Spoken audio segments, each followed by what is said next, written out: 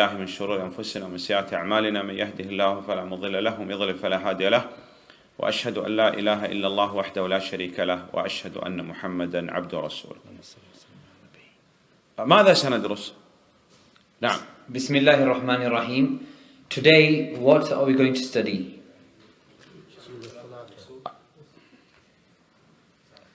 الأصول الثلاثة نعم Three principles. الإجابة والسؤال برفع الأصبع نحن هنا في درس أي إنسان يريد يتكلم يستعد أفضل لسنا في سوق الخضار نعم. نعم سوق الخضار هناك يتكلم كل واحد ما في مشكلة أما هنا لابد أدب نعم So when it comes to question and answers, we raise our finger and we wait to be given permission to speak. Why? Because here we're in a gathering of knowledge. If it was the vegetable market, then you can speak as you want. But in a gathering of knowledge, there has to be etiquettes. تمام الأصول الثلاثة نعم Three principles. الأصول الثلاثة هذا في الفقه أو في التوحيد أو في أو في ماذا؟ And these three fundamental principles are they regarding the topic of fiqh or tafsir or which topic?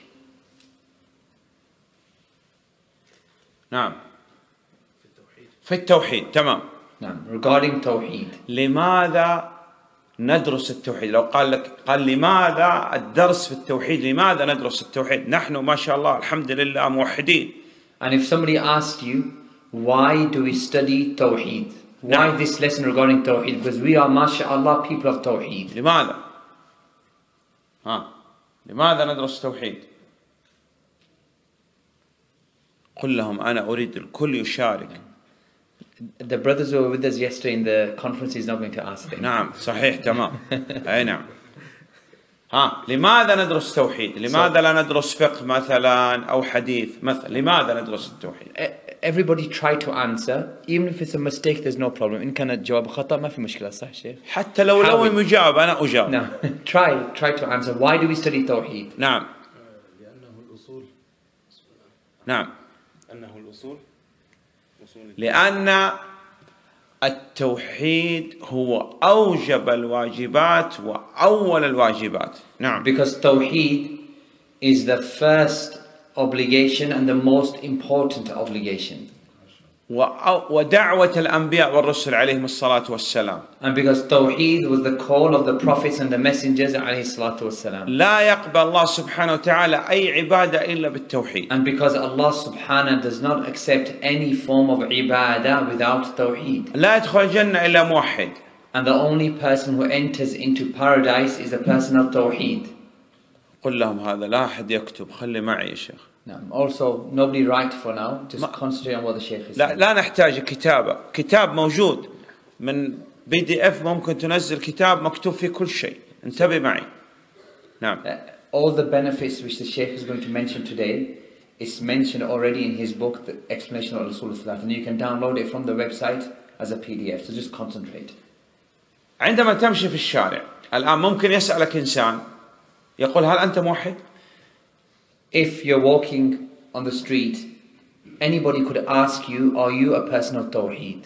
تقول نعم أنا موحد And you answer, Yes, I am a person of Tawheed. يقول طيب ما هو التوحيد؟ And then if he asks you, Okay, what is the meaning of Tawheed? What is Tawheed? نعم So how will you reply? لو قال إذا ما تعرف يقول أنت كذاب عندما تقول أنا موحد شهادة زور هذا أنت تكذب موحد اشرح لي التوحيد And if you cannot answer that person regarding Tawheed, then he has every right to reply to you, say you're a liar. And this is a false claim. So unless you can explain to him what is Tawheed, then how can you be a person of Tawheed? ممكن يسألك أيضا قل أنت مشرك Or he might ask you, are you a person of shirk? تقول أعوذ بالله أنا لست مشرك And you say, A'udhu billah, I am not a mushrik. ما هو الشرك يقول But then if he asks you, what is shirk? تعرف الشرك Do you know shirk? يقول أنا لا أعرف And if he says, and if you say, I don't know what shirk is. إذا قا- قلت لا أعرف قال ممكن أنت واقع في الشرك الأكبر وأنت لا تدري And then the questioner can say to you, well, perhaps you're falling into shirk and you don't know. إذا أهم علم وأول علم وأوجب الواجبات التوحيد And for this reason, the first knowledge and the most important knowledge and the most obligatory of obligations is regarding Tawheed. قال يا أخي خلاص اتفقنا ندرس توحيد تمام So if you say that okay, we understand the importance of Tawheed and why we should study Tawheed. لماذا اخترنا دراسة هذا المتن متن الأصول الثلاثة كتب كثيرة في التوحيد لماذا اخترنا هذا الكتاب A person might ask, okay, why do we study this treatise specifically? Why, why Al-Usul al There's many books about Tawheed. Why is it this book we study? لأننا طلاب Because we are students. الطالب لا يمشي في العلم على ما يحب أو على ما يقول الطلاب لا يرجع إلى كبار العلماء رجعنا لكبار العلماء قال أول شيء التوحيد وأول متن في التوحيد متن الأصول الثلاثة And as students, we shouldn't study that which we love to study ourselves or what other students tell us to study. Rather, we go back to the advice of the ulama. And the ulama have told us that your first subject which should be studied is the subject of Tawheed. And the first matan which should be studied is Al-Usul Thalatha. نعم قال طيب ما هي الأصول الثلاثة so if a person asks, what are these three principles? Al-usul al-thalatha, three principles. What are these three principles? ما هي أصول الثلاثة؟ نقول هي أسئلة القبر. And the answer is that the three principles relate to the three questions in the grave. مفهوم؟ إذا سندرس أسئلة القبر الثلاثة. هذه الأصول الثلاثة. So we are going to study the three questions which a person is asked in the grave, and these are the three principles. ماذا تسأل في قبرك What will you be asked a question about in your grave? من ربك Who is your Lord? ما دينك What is your religion? من نبيك And who is your prophet? تعرف الإجابة Do you know the answers to these questions? ها بسم الله نعم إذا تعرف الإجابة في الدنيا وتعمل بها وتعتقدها بإذن الله تجيب عن أسئلة القبر. لكن إذا لا تعرف الإجابة أو لا تعتقدها أو لا تعمل بها في القبر نسأل العافية السلامة مثل المنافق لا تجيب. These three questions, if you know the answer and you implement them in this world and you have the correct aqidah regarding them in this world, then in the grave you will be able to answer them. But these three questions, هذا اثنين هناك يقفوا قل له هذا اللي متكئ على الجدار يقف or you as well. No, the one who smiled at نعم آه. Um, بسم الله نعم But if you don't know the answer to these three questions, or you did not implement them, or you did not have the correct aqidah regarding them, then in the grave that person will be like the munafiq. نعم. إذا هذه فائدة عظيمة. لأنه بعضهم يقول ما الفائدة؟ في جائزة آخر. نقول الفائدة تجيب عن أسئلة القبر. الآن نتعلم بيننا حتى تحفظ تضبط تعتقد تعمل تجيب بإذن الله عن أسئلة القبر. نعم. So this is the greatest benefit of studying this knowledge. A person might say, there's no benefit in studying this knowledge. It's not like we're going to get a prize for studying this, but the greatest benefit for us coming together, revising, studying, memorizing, understanding well, implementing, acting upon it, is that on, in the grave a person will pass the questioning. نعم تعال هنا نقدم تقرها هم أين اثنين ياتوا هنا عند تعالوا عندنا هنا قربوا منه نعم أي إنسان يهدي لك كتابا. نعم. If a person gifts you a book, مجرد ما يكون الكتاب في يديك لا تضع. افتح الكتاب اقرأ المقدمة واقرأ الفهرس وتصفح الكتاب. لا تضعه في السيارة أو في الدولاب في المكتبة. نعم. As an advice, if anybody gifts you a book, any book, never place that book in the bookshelf until you've looked at the contents, you've read the introduction or the in- index, and you've had a quick look through the book. And then you can place it on the bookshelf. لماذا؟ Why?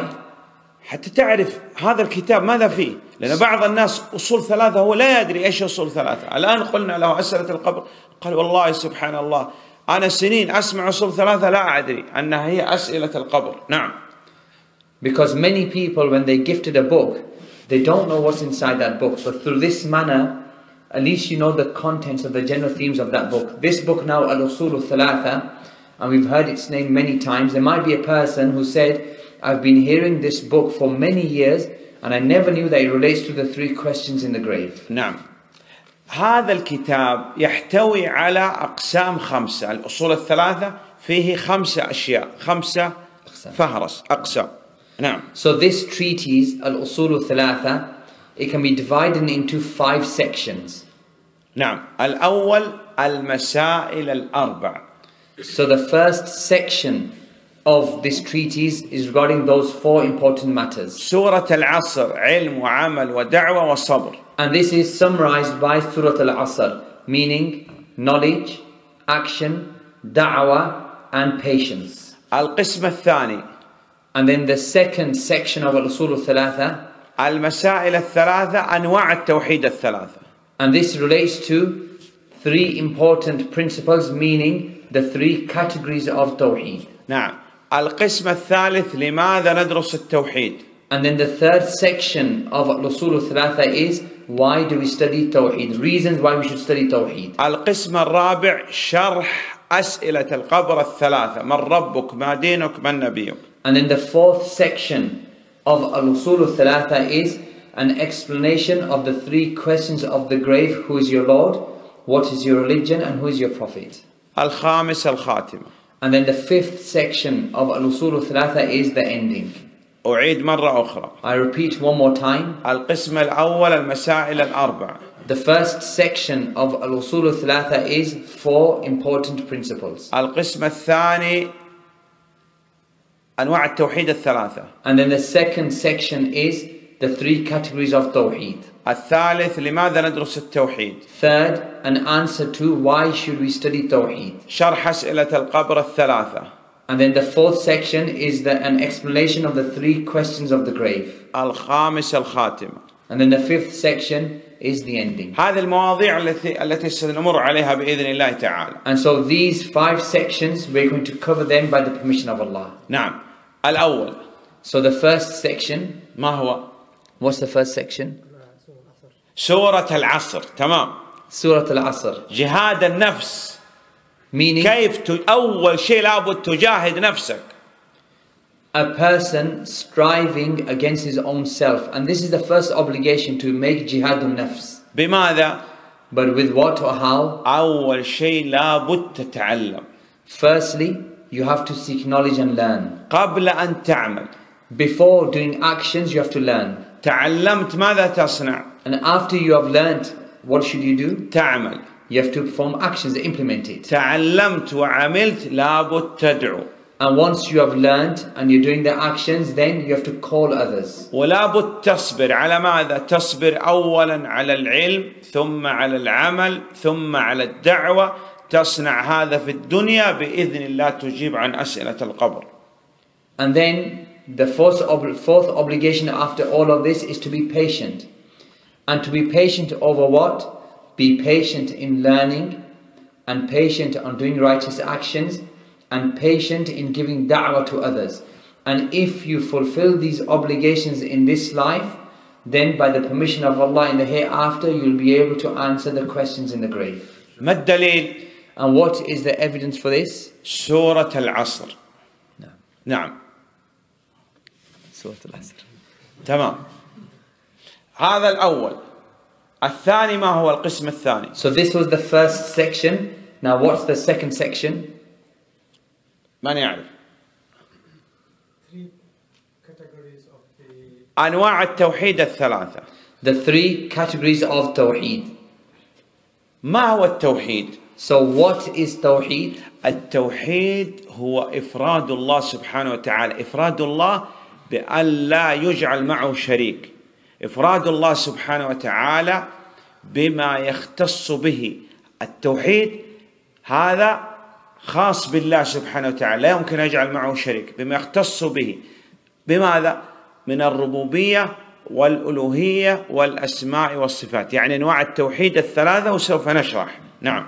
So Tawheed is for Allah to be singled out such that there is no partner or equal to Him. Or we could say that Tawheed is to single out Allah in everything which is exclusive and unique to Him from His rububiyyah and His uluhiyyah and His, and his asma wa sifat. And we're going to explain these three terms and categories. Now. توحيد الربوبية ما هو؟ So as for Tawheed al-Rububiyyah, what is it? هو إفراد الله سبحانه وتعالى بأفعاله يعني أفعال خاصة بالله سبحانه وتعالى لا يشارك فيها أحد نعم It is to single out Allah in those actions which are unique and exclusive to Him, meaning no other person or being has a share of those actions. أو إفراد الله سبحانه وتعالى بالخلق والملك والتدبير Or the other meaning of Tawheed al-Rububiyyah is to single out Allah in that He is the only creator and the only owner and the one who controls everything. الثاني توحيد العبادة توحيد الألوهية هو إفراد الله سبحانه وتعالى بالعبادة لا نعبد إلا الله And then the second category of Tawheed is Tawheed al-Uluhiyya and it is also called Tawheed al-Ibadah and that is to single out Allah in every act of worship meaning we do not worship anybody else besides Allah. أو إفراد الله سبحانه وتعالى بأفعال العباد Or you could say that it is to single out Allah through the actions of the people. الثالث توحيد الأسماء والصفات إفراد الله سبحانه وتعالى بأسماء وصفاته نثبت لله سبحانه وتعالى ما أثبت لنفسه في كتابه أو على لسان رسوله صلى الله عليه وسلم And then the third category of Tawheed is Tawheed al-Asma wa Sifat. And this is to single out Allah in every one of His unique names and attributes. Meaning, we affirm for Allah every name and every attribute which He affirmed for Himself in the book or in the Sunnah of the Prophet sallallahu alaihi wasallam. تمام أث- عندنا كيف نتعامل مع غير المسلمين انقسم الناس في التعامل مع غير المسلمين إلى طرفين ووسط نعم How do we interact and behave with the non-Muslims? And when it comes to interacting and behaving with the non-Muslims, people are three groups.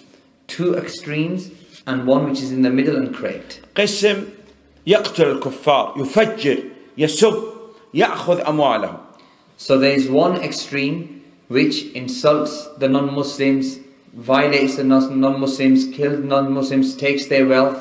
وقسم يشارك الكفار في أعيادهم في احتفالاتهم في طقوسهم نعم And then there is another extreme which partakes along with the non-Muslims in all of their festivals and celebrations and special days. الصحيح الوسط ما هو And the correct behavior is that which is in the middle. And what is it? نفي لهم بالعهود أنت دخلت إلى هذه البلاد على عهد أن لا تتعرض الكفار لا بالقتل ولا بالتفجير ولا بالسب ولا بالسرقة And that is that firstly we fulfill our contracts and agreements which are between us and between them. So you are here in this country and you have an agreement with them or a contract with them that you will not expose them to any type of violence or any type of insult or stealing. لكن مع هذا لا يمكن تشارك الكفار في أعيادهم But then at the same time, along with this, you're not allowed to partake in the festivals or the celebrations of the non-Muslims. نعم تفي لهم بالعهود So on one side, you fulfill the contracts and the trust which is between you, تبيع وتشتري معهم لا إشكال تجارة and you trade, buy, and sell with them, and there's nothing wrong. لابد تنصح لهم And also, you have to advise them and be sincere in your advice, تدعوهم إلى الله and you call them to Allah, تحرص على هدايتهم على صلاحهم نعم and you care for their guidance and you care for their reformation. نعم هذا القسم الثاني So this is the second section of الأصول الثلاثة. القسم الثالث. The third section. ما هو؟ What is the third section of الأصول الثلاثة?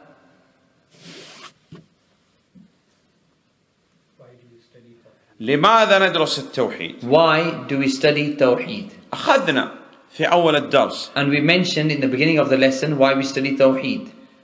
بفضل الله لا تسمع أنه أحد من المسلمين دخل إلى المسجد النبوي مسجد حرام أو أي مسجد وانتحر صحيح؟ نعم By the virtue of Allah, you will never hear of a Muslim who enters into al Masjid al Nabawi al Sharif or Masjid al Haram and he has committed suicide. لماذا؟ Why?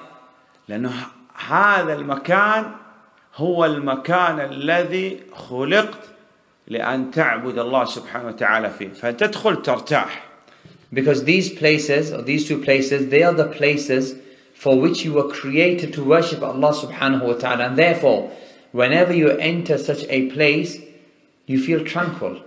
نعم لكن تجد عند البحار عند أماكن الله ملاهي من ينتحر كثير جدا But when you go to oceans or seasides, coasts, and other types of places in which there is amusement, you find a lot of people committing suicide. نعم تبغى ولا تشرح شيء؟ هذا ايفون ما شاء الله تبارك الله نعم.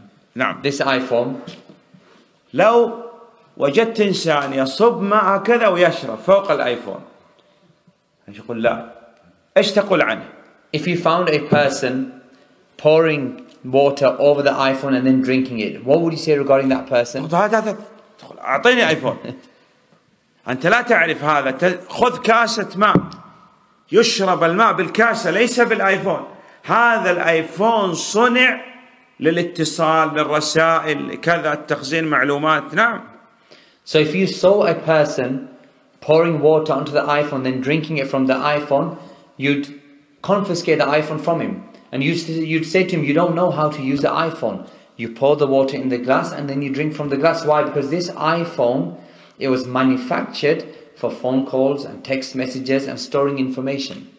تمام انت خلقت لماذا لتلعب And now you, why were you created? Were you created to play, لتشرب لتاكل لتنام to eat and drink and sleep? لا No. خلقت لغايه وهي العباده You were created for a purpose and that is worship.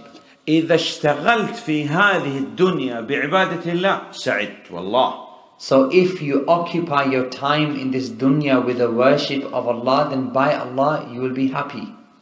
اشتغلت بغير العباده شقاء وتعاسه وانتحار But if you occupy your time in this dunya with other than the worship of Allah, then there's only wretchedness and sadness and then ultimately suicide.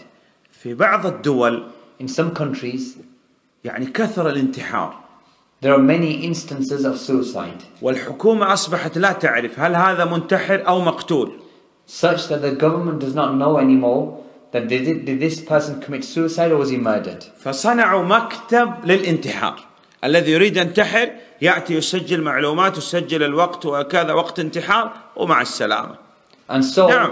they have set up offices where people can come and register their suicide. If you want to c- kill yourself or commit suicide, come, you register your name, the time, and then you commit suicide. نعم فجاء مسلم دخل لهذا المكتب So a Muslim came and he entered into this office.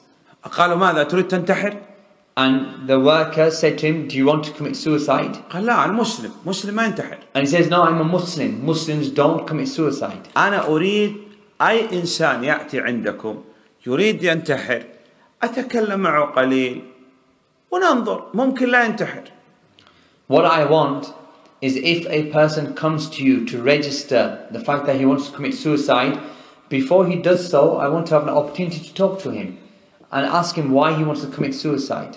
فوضعوا له مكتب So then they gave him a side office. أول ما يأتي من يريد ينتحر يحوله على هذا المسلم مسلم يدعو للإسلام ويقول اسمع الآن أنت تسلم وتنظر الحياة تمام الحمد لله غير تمام انتحار نعم And so, whoever wanted to commit suicide and register their suicide, they would come in and first they would go to his office.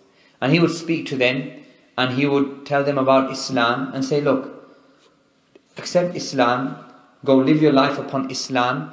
If you're happy, Alhamdulillah. If you're not happy, return back for your suicide. نعم فكل شخص يذهب لهذا المسلم لا يرجع للانتحار And then every person who would meet and go to his office and speak to him, he would not commit suicide. He would not return for suicide. فهؤلاء مكتب انتحار قالوا لهذا الرجل نريد ننشئ لك مكتب نكتب عليه لا انتحار And they, the workers, they said to him that we want to make for you a full office and we write it on there, office of no suicide. من أفضل الأوقات التي تمر بنا في السنة رمضان From the best times in the year which passes by us is Ramadan.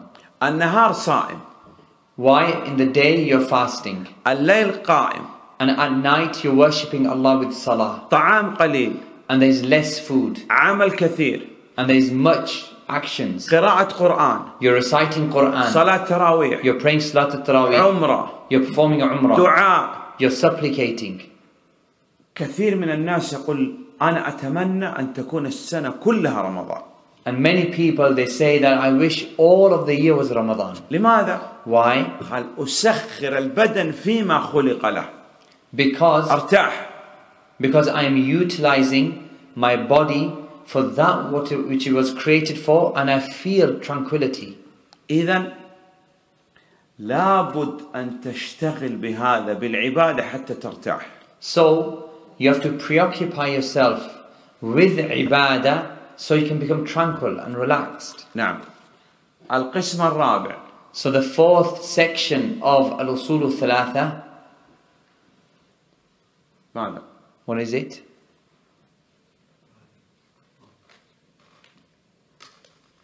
أول سؤال تسأل عنه في قبر القسم الرابع أسئلة القبر الثلاثة So the fourth section of Al-Usul al-Thalatha are the three questions which you'll be questioned in the grave with. And what's the first question? من ربك؟ No. Who is your Lord? Mar Rabbuk, who is your Lord? من يعرف الإجابة؟ Who knows the answer? إذا لا تعرف الإجابة هنا لا تجيب في القبر And if you don't know the answer here, you will not be able to answer in the grave. ماذا تقول؟ So what will you say? تقول ربي الله You say, My Lord, my Rabb is Allah. ما معنى الرب؟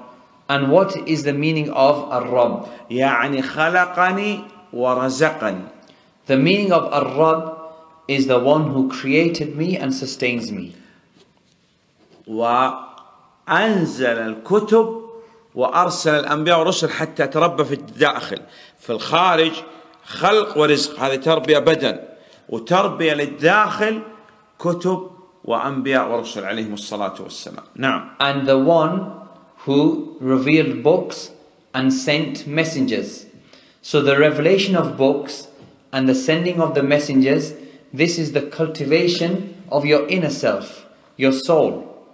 And as for the cultivation of your body, then this is through creation and through physical sustenance. نعم طيب ربي الله So we say, My Rabb is Allah, خلقني ورزقني and He created me and He sustains me. كل الخلق خلقهم ورزق كل الخلق إنس جن حيوانات أح- بحار أشجار أنهار نعم All creation and every facet of creation, Allah created it and provides for it, whether it's humans and jinn, نعم. animals, mountains, seas, oceans. العبادة حق لمن؟ So, ibadah is whose right? حق لله سبحانه وتعالى It is the exclusive right of Allah subhanahu wa ta'ala. لا يمكن أن نصرف شيئا من العبادة لغير الله And it's not permitted for a person to direct any act of ibadah to other than Allah. لا ندعو إلا الله So we do not supplicate to accept Allah. لا نصلي إلا لله And we do not pray except to Allah. لا نسجد إلا لله And we do not prostrate and make sujood except to Allah.